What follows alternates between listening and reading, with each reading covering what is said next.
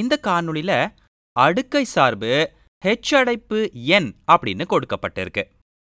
இதோட சார்பு ஏ பெருக்கல் ஆறின் அடுக்கு என் இதுல ஏ அப்படிங்கிறது தொடக்க எண் ஆர் அப்படிங்கிறது பொது விகிதம்.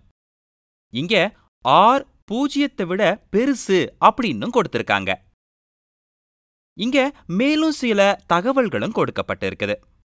அதாவது என் சமம் ரெண்டு. அப்ப ஹெச்சடைப்பு அடைப்பு ரெண்டுங்கிறது நூற்று நாற்பத்து நான்கு. ஹெச்சடைப்பு அடைப்பு நாலுங்கிறது முன்னூற்று இருபத்து நான்கு. ஹெச்சடைப்பு அடைப்பு ஆறுங்கிறது எழுநூற்று இருபத்து ஒன்பது அப்படின்னு அடிப்படை தகவல்களை நமக்கு கொடுத்திருக்காங்க. இப்ப நாம இந்த ஏ மற்றும் இந்த ஆரோட மதிப்பைத்தான் கண்டுபிடிக்கணும். வழக்கம் போல இந்த காணொளியை கொஞ்சம் நிறுத்திட்டு நீங்களே செய்ய முயற்சி செய்யுங்களேன். என்ன முயற்சி செஞ்சீங்களா? சரி வாங்க நாம சேர்ந்தே செய்வோம். முதல்ல பொது காரணி ஆரோட மதிப்பைத்தான் நாம கண்டுபிடிக்கணும். இங்க அடுத்தடுத்த எண் இருக்குது. இங்க ஹெச்சடைப்பு மூன்றுன்னு ஒன்னு இருந்திருந்துச்சுன்னா ஹெச்சடைப்பு மூன்றுக்கும் ஹெச்சடைப்பு ரெண்டுக்கும் உள்ள விகிதத்தை கண்டுபிடிக்கணும். இதுல இருந்து நம்மளால ஆற கண்டுபிடிச்சிட முடியும். இல்லனா ஹெச்சடைப்பு நான்கு மற்றும் ஹெச்சடைப்பு மூன்றுக்கும் உள்ள விகிதத்தை கண்டுபிடிச்சா நம்மளால ஆரோட மதிப்பை கண்டுபிடிக்க முடியும். சரி வாங்க. இங்க வெளிப்படையா ஆரோட மதிப்பு என்னன்னு நாம தீர்த்து பார்ப்போம். சரி முதல்ல ஹெச்சடைப்பு நான்குக்கும் ஹெச்சடைப்பு இரண்டுக்கும் உள்ள வித்தியாசத்தை கண்டுபிடிக்கலாம். ஹெச் அடைப்பு நான்கு அதன் கீழ் ஹெச் அடைப்பு இரண்டு. சமம். ஹெச்சடைப்பு நான்கோட மதிப்பு முன்னூற்று இருபத்து நான்கு. ஹெச்சடைப்பு இரண்டோட மதிப்பு நூற்று நாற்பத்து நான்கு. இப்போ இதை நாம சுருக்குவோமா? இதை எப்படி சுருக்கலாம்? ஆ இவை ரெண்டுமே ரெண்டால வகுபடுமே. தொகுதி முன்னூற்று இருபத்து நான்க ரெண்டால வகுத்தா நூற்று அறுபத்து ரெண்டுன்னு கிடைக்கும். பகுதி நூற்று நாற்பத்து நான்க ரெண்டால வகுத்தா எழுபத்தி ரெண்டுன்னு கிடைக்கும். இத மறுபடியும் ஆமா ரெண்டால வகுக்க முடியும். அப்ப இங்க எண்பத்தி ஒன்று அப்புறம் கீழே இங்க முப்பத்து ஆறுன்னு கிடைக்கும். ஆனா இதை திரும்பவும் ரெண்டால வகுக்க முடியாது. ஆனா ஒன்பதால வகுக்கலாமே. அப்ப எண்பத்து ஒன்று வகுத்தல் ஒன்பதுனா ஒன்பது முப்பத்தாறு வகுத்தல் ஒன்பதுனா நான்கு.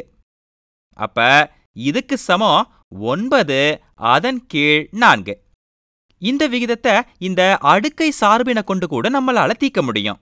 சமம் ஹெச் அடைப்பு நான்கின் மதிப்பு ஏ பெருக்கல் ஆறின் அடுக்கு என் என்னோட மதிப்பு நான்கு அப்படிங்கறதுனால அடுக்கு நான்குன்னு எழுதிக்குவோம்.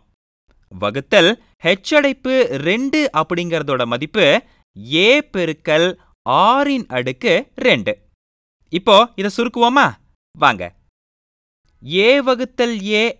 இந்த ரெண்டுமே ரத்தாகி ஒன்றுன்னு கிடைக்கும். ஆறின் அடுக்கு நான்கு வகுத்தல் ஆர் வர்க்கம். இப்போ இங்க நாம அடுக்கை பண்பை பயன்படுத்தினா ஆறின் அடுக்கு ரெண்டுன்னு கிடைக்கும். இல்லனா ஆர் வர்க்கம்.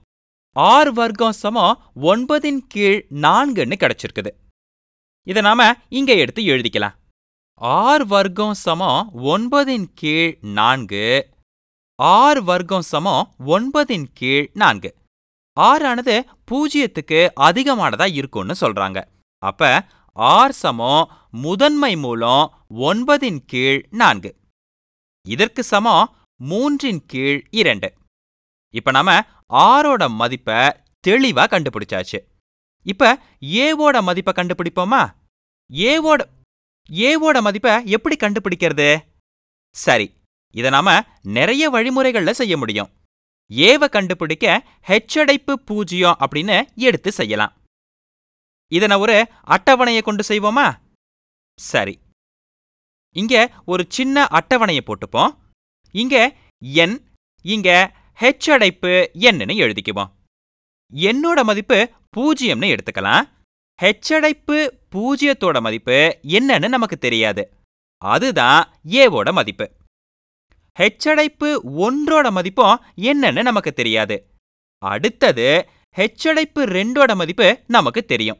அது நூற்று நாற்பத்து நான்கு இங்க பொது விகிதம் மூன்றின் கீழ் இரண்டுன்னு நமக்கு தெரியும். அப்ப ஹெச்சடைப்பு ஒன்னோட மூன்றின் கீழ் இரண்ட பெருக்கினா ஹெச்சடைப்பு ரெண்டு கிடைச்சிடும். அப்ப ஹெச்சடைப்பு பூஜ்ஜியத்துல இருந்தும் மூன்றின் கீழ் இரண்ட பெருக்கினா ஹெச்சடைப்பு ஒன்று கிடைக்கும். அப்படின்னா ஹெச்சடைப்பு ஒன்றை கண்டுபிடிக்கிறதுக்கு நூற்று நாற்பத்து நான்க மூன்றின் கீழ் இரண்டால வகுக்கணும். வாங்க இதை நாம இங்க எடுத்து தனியாவே செஞ்சு பார்ப்போம். ஹெச் அடைப்பு ஒன்று சமம் நூற்று நாற்பத்து நான்கு வகுத்தல் மூன்றின் கீழ் இரண்டு. சமம் நூற்று நாற்பத்தி நான்கு பெருக்கல் இரண்டின் கீழ் மூன்று. நான் செய்யறது புரியுது இல்லையா சரி. வகுத்தல்ல இருக்கிறத பெருக்கல்ல இப்படி எழுதலாம். நூற்று நாற்பத்தி நான்கு வகுத்தல் மூன்று. என்ன விட கிடைக்கும்? சரி. அத இங்க எடுத்து வகுத்தே பார்த்துடுவோமே. நூற்று நாற்பத்தி நான்கு வகுத்தல் மூன்று. பதினான்கு மூன்றுல நாலு முறை போகும். நான்கு பெருக்கல் மூன்றுனா பன்னிரெண்டு. இதை கழிச்சா ரெண்டு இந்த நான்கு இருபத்து நான்கு. இருபத்து நான்கு மூன்றுல எட்டு முறை போகும். அப்ப மூன்று பெருக்கல் எட்டு இருபத்து நான்கு. இங்க மீதம் எதுவுமே வரல. அப்ப நூற்று நாற்பத்து நான்க மூணால வகுத்தா நாற்பத்தி எட்டுன்னு கிடைக்குது. நாற்பத்தி எட்டு பெருக்கல் ரெண்டுங்கிறது தொன்னூற்று ஆறு. இதற்கு சமம் தொன்னூற்று ஆறு. அப்ப ஹெச்சடைப்பு ஒன்றோட மதிப்பு தொன்னூற்று ஆறுன்னு எழுதிக்குவோம். இப்ப அடுத்தது ஹெச்சடைப்பு பூஜ்ஜியத்தோட மதிப்பை கண்டுபிடிப்போமா? அதுக்கு தொன்னூற்று ஆற மூன்றின் கீழ் இரண்டோட வகுக்கணும். ஹெச்சடைப்பு பூஜ்ஜியம் சமம் தொன்னூற்று ஆறு வகுத்தல் மூன்றின் கீழ் இரண்டு. சமம் தொன்னூற்று ஆறு பெருக்கல் ரெண்டின் கீழ் மூன்று. முன்னாடி செஞ்ச மாதிரியே தான் தொன்னூற்று ஆற மூணால வகுத்தா முப்பத்து ரெண்டுன்னு கிடைக்கும். முப்பத்தி ரெண்டு பெருக்கல் ரெண்டுனா அறுபத்து நாலு. அப்ப ஹெச்சடைப்பு பூஜ்ஜியத்தோட மதிப்பு அறுபத்து நான்கு. இப்போ ஏவோட மதிப்பு அறுபத்து நான்குன்னு கண்டுபிடிச்சாச்சு. மற்றும் ஆரோட மதிப்பு மூன்றின் கீழ் இரண்டுன்னும் கண்டுபிடிச்சிட்டோம். அப்படின்னா ஹெச்சடைப்பு என் சமம் அறுபத்து நான்கு பெருக்கல் மூன்றின் கீழ் இரண்டின் அடுக்கு என் இப்போ இதே கணக்க வேற ஒரு வழிமுறையில தீப்போமா? ஆரோட மதிப்பை கண்டுபிடிக்கிறதுக்கு ஏவை தீக்கலாம். எடுத்துக்காட்டுக்கு ஹெச்சடைப்பு ரெண்டை எடுத்துக்குவோமே. ஹெச்சடைப்பு ரெண்டு சமம் ஏ பெருக்கல் பொது விகிதம். அதாவது மூன்றின் கீழ் இரண்டின் அடுக்கு ரெண்டு சமம் இதோட மதிப்பு. அதாவது நூற்று நாற்பத்து நான்கு.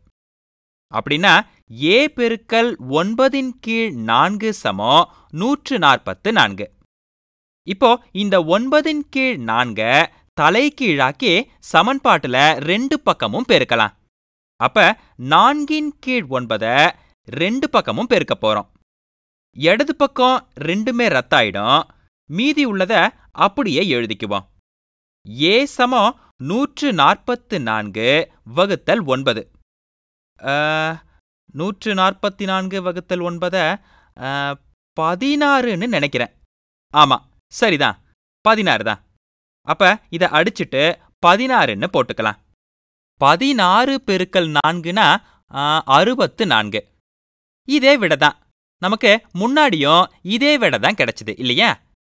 இந்த முறை நமக்கு கொஞ்சம் எளிமையா இருக்கு இல்லையா? ஆனாலும் எனக்கு இந்த முறை தான் பிடிச்சும் இருக்குது. ஏன்னா இங்க பொது விகிதத்தை கொண்டு தொடக்க மதிப்பினை நம்மளால கண்டுபிடிக்க முடியுது இல்லையா? ஹெச்சடைப்பு பூஜ்ஜியம் ஆறின் மதிப்பினை நாம கண்டுபிடிச்சிட்டதால சார்புல இத பதிலீடாக்கி ஏவோட மதிப்பினை சுலபமா கண்டுபிடிச்சிட முடியும். அதுக்கு என்னோட மதிப்பும் நமக்கு தெரிஞ்சிருக்கணும். இப்போ இந்த கணக்கு உங்களுக்கு தெளிவா புரிஞ்சிருக்கும்னு நினைக்கிறேன். நாம மறுபடியும் வேற ஒரு காணொளியில சந்திக்கலாம்.